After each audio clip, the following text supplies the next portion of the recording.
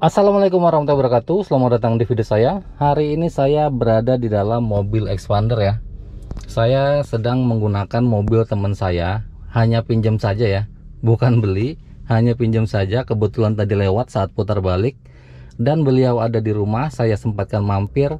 Karena ada sesuatu yang menarik di expander ini. Kalian harus tahu Untuk kalian yang mungkin ingin membeli expander Atau mungkin ingin rental expander ada hal-hal yang wajib kalian ketahui. Yang pertama adalah saat start awal, start awal itu tidak bisa langsung kita putar kunci ya, melainkan harus injak kopling terlebih dahulu untuk safety-nya ya. Kita akan coba starter di sini kita nyalakan sudah posisi on. Saat saya tidak menginjak pedal kopling, mobil tidak akan bisa starter. Tidak bisa starter ya. Coba sekarang kita injak pedal kopling.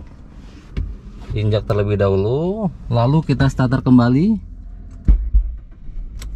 Dan mobil menyala. Perhatikan mobil sudah menyala.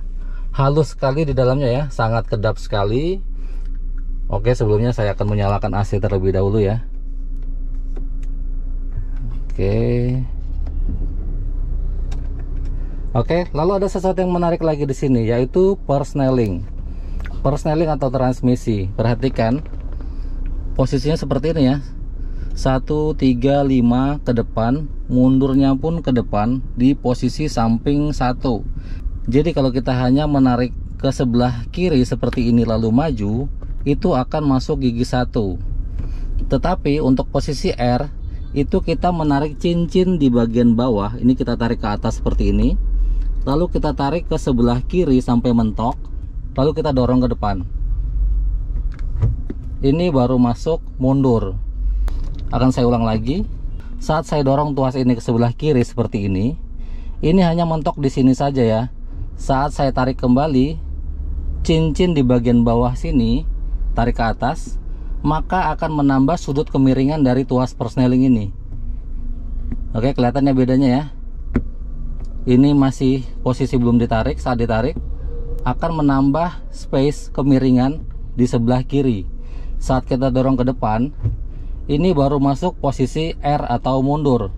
Sedangkan untuk posisi yang lainnya sama saja dengan mobil-mobil lain posisinya seperti ini satu ke atas 3, 5 sama-sama ke atas atau ke depan. Sedangkan 2 dan 4 berada di belakang hanya yang berubah adalah posisi R atau mundur yang biasanya di mobil-mobil lain ada di belakang 5 ini ada di sampingnya satu. Mungkin segitu saja video hari ini. Semoga menambah wawasan kita bersama. Kalau kalian ingin saya nyetir menggunakan mobil ini silahkan tuliskan pada kolom komentar.